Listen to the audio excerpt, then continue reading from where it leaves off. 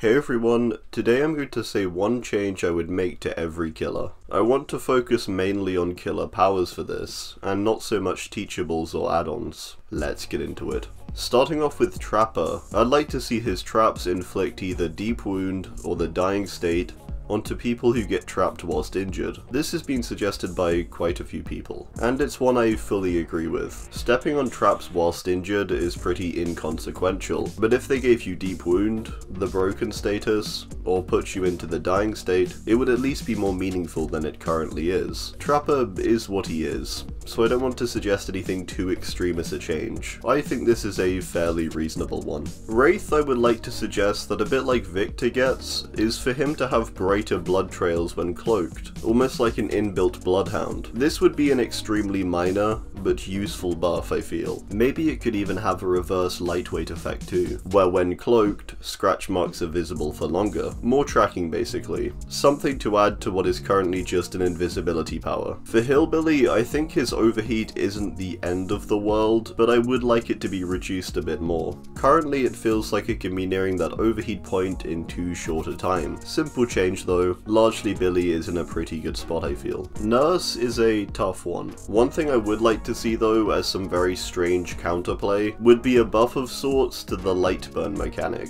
Light burn is a mechanic for Wraith and Nurse, allowing you to stun them when they use their power. Nurse is hard currently because you can only do it when she charges a blink, so it's a very narrow window. I think it would be cool to make it constantly possible to light burn, giving urgency to blinks, and actually doable counterplay with the flashlight, or just make the window a bit larger. My change to shape would be that, when entering tier 3, when survivors become exposed, the survivor you stalk the most will scream, revealing their location. This both encourages you to target the person who got stalked the most, which is like lore fitting, but also punishes them for giving you so much progress, drawing attention away from those who avoided you. My change to Hag is kind of a weird one. When a generator is completed, all traps within a 16 meter range are destroyed, so the sudden surge of light from the generator breaking them would be a cool mechanic, and a good reward for finishing a gen in the midst of a heavily set up Hag area. I feel like I heard this one from somewhere else, I'm not quite sure, I don't remember where though. Regardless, I think it's a cool idea. For Doctor, I think it would be pretty funny to have more hallucination effects. They're one of the most entertaining parts of his power. It would be cool if they added fake breakable walls, fake hex totems, fake screams, and maybe even fake status effects that appear on your screen. I think that would be really fun. Maybe these effects could be picked through add-ons, on top of the current ones that are already attainable. For Huntress, I'm going to suggest another kind of weird change. I'd like to see her get a similar mechanic to Plague, where once all gens are completed, you get your power. For Huntress, this would be a full hatchet reload once all gens pop. I think that could be nice, giving you the ability to instantly pressure, and not have to worry about reloading.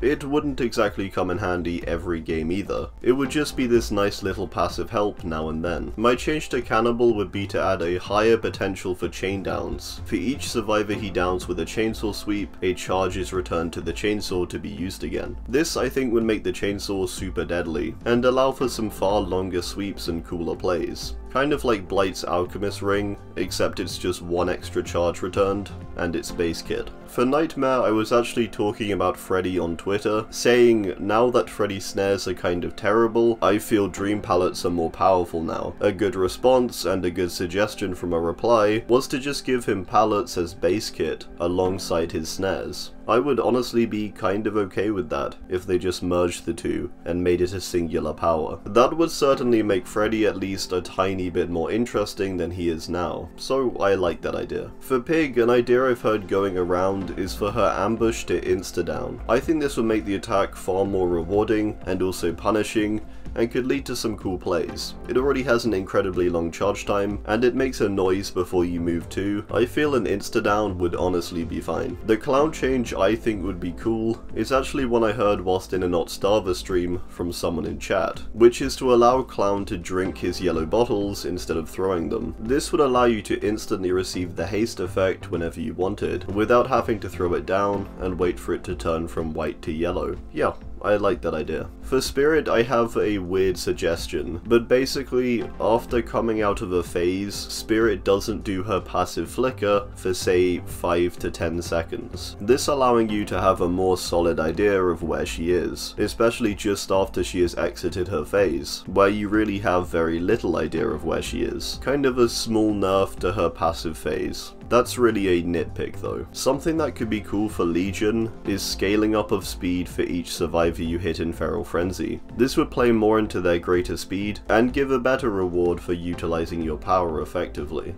Say you start out with the current 5.2 meters per second, and then each time you hit a survivor, you go up by 0.5 meters per second. Personally, I think that would be really fun. My alteration for Plague is going to sound strange, but I think it could be interesting. Whenever you infect something from the environment, say a generator, a pallet, or a totem, it gives it a negative side effect of some kind. For example, an infected pallet only stuns at 90% of its effect than usual. If a generator is infected, skill checks are more frequent. If a totem is infected, then survivors cleansing it become oblivious. Stuff like that I think would be cool, and encourage you to infect the environment more. My Ghostface change is to give him kind of a similar mechanic to Executioner, where after two hooks, he can Mori a tormented survivor. With Ghosty, my idea is that if you manage to mark someone three times, you can Mori them. This plays into his lore and the meticulous stalking element, and would be a good reason to make sure you don't get marked three times.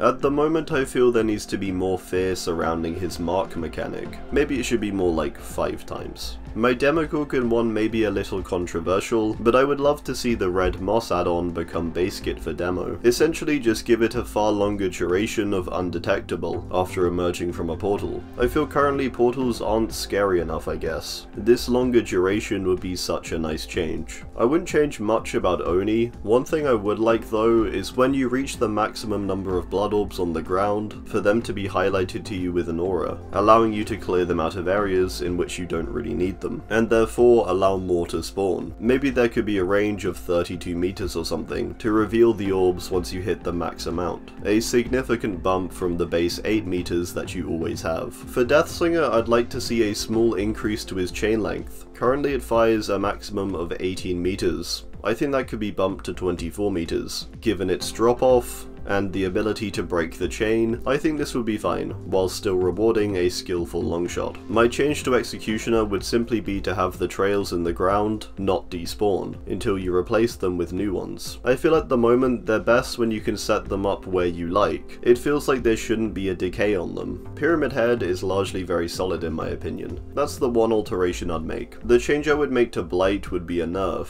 I would remove one of his base tokens from 5 to 4. This would help reduce the potency of Blighted Crow and Rat, and also Alchemist Ring. Twins is quite a simple change. I would really like to just have a near instant switch between Charlotte and Victor, allowing some potential for cool plays where you can coordinate a back-to-back -back attack. Yep, simple change there. For Trickster, I simply want to be able to hold the main event attack. At the moment you can hold it for like 30 seconds or something, I just want it to be there until I want to use it. My change for Nemesis would be to make his zombies have set paths, that they deviate from only if there is a survivor, or something like a noise notification, because currently their pathing just seems inconsistent.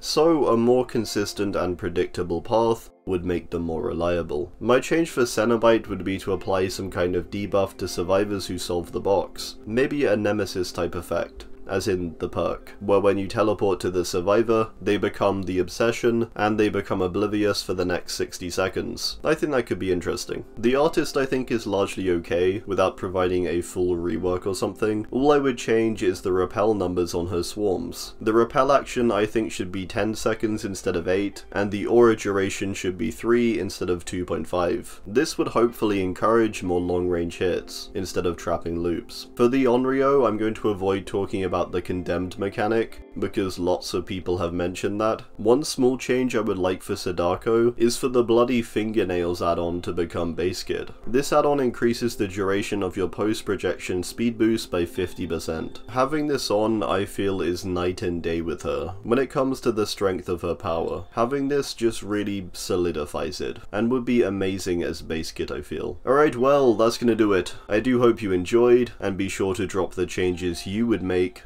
down below. Thanks, and goodbye.